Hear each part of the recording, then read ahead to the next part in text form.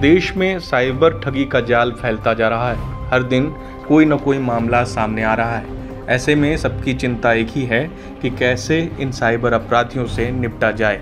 सूचना, तकनीक और डिजिटल इकोनॉमी के फैलते जाल के साइड इफ़ेक्ट के रूप में फ्रॉड कॉल्स के मामले लगातार बढ़ रहे हैं। साइबर फ्रॉड लोगों से पैसे ठगने के लिए तरह तरह की तिकड़म आजमा रहे हैं। ऐसे में अनजान कॉल, एसएमएस और लालच देने वाली चीज़ों से सतर्कता ज़रूरी है। लेकिन अगर किसी के साथ फ्रॉड हो जाए तो तुरंत कुछ कदम उठाने से फ्रॉड में गवाई गई रकम आपको वापस मिल सकती है। एक्सपर्ट की माने तो इस मामले में आप फ्रॉड में गवाया गया 90 प्रतिशत पैसा केवल 10 दिनों में पा सकते हैं। इसके लिए ज़रूरी है कि जैसे ही फ्रॉड का पता चले, पीड़ित व्यक्ति को अपना खोया पैसा पाने के लिए सही कदम तुरंत उठाने चाहिए।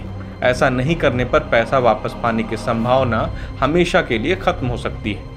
आरबीआई यानी भारतीय रिज़र्व बैंक भी ग्राहकों को यही सलाह देता है कि अगर किसी के साथ किसी भी तरह की अनाधिकृत लेन देन होता है तो सही समय पर जानकारी देने से उन्हें पैसे वापस मिल सकते हैं।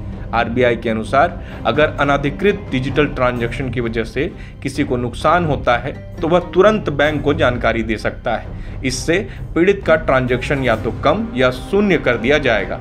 कई बैंक अनाधिकृत ट्रांजैक्शन को लेकर बीमा पॉलिसी पेश करते हैं। इससे समय पर अपनी शिकायत देने पर नुकसान का पैसा वापस मिल सकता है। यही नहीं, बैंक ग्राहक साइबर धोखाधड़ी के खिलाफ बीमा पॉलिसी भी खरीद सकते हैं। आरबीआई गाइडलाइन के अनुसार तीन दिनों के अंदर अनधिकृत लेन देन की जानकारी ग्राहक द्वारा बैंक को देने पर पूरे पैसे वापस मिल जाते हैं। यही घटना के चार से सात दिनों के बाद शिकायत करने पर ग्राहक को पच्चीस हज़ार रुपये तक का नुकसान झेलना पड़ सकता है। यह भी जान लेना ज़रूरी है कि तय सीमा के बाद शिकायत करने पर पैसा वापस नहीं मिलता।